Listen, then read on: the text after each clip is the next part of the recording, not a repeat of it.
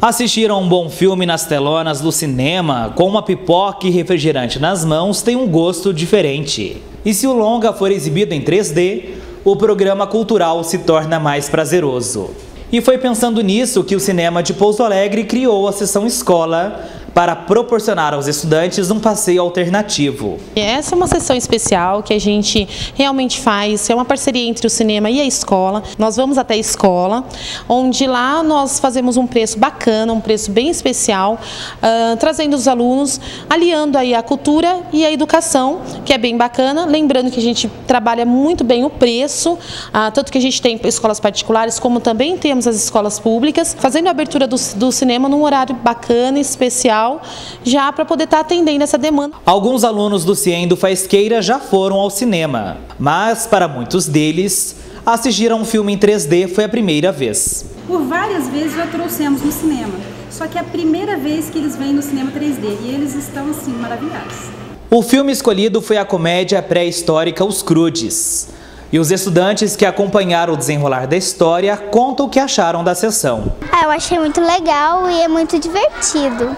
Mas para muitos desses estudantes, esta foi a primeira vez que eles foram ao cinema. E é a primeira vez, eles nunca mais irão esquecer. Achei interessante, bom, legal. Fala para mim, qual que é a diferença de assistir um filme aqui no cinema e lá na sua casa, na sala da sua casa? Aqui você vê de perto e tem como você quase pegar as coisas. Achei muito bom, divertido, o filme estava muito legal, gostoso. Ah, eu achei muito legal e muito divertido. 120 alunos do CIEM do Faisqueira vieram na manhã desta terça-feira ao cinema de Pouso Alegre para assistir o filme Os Crudes.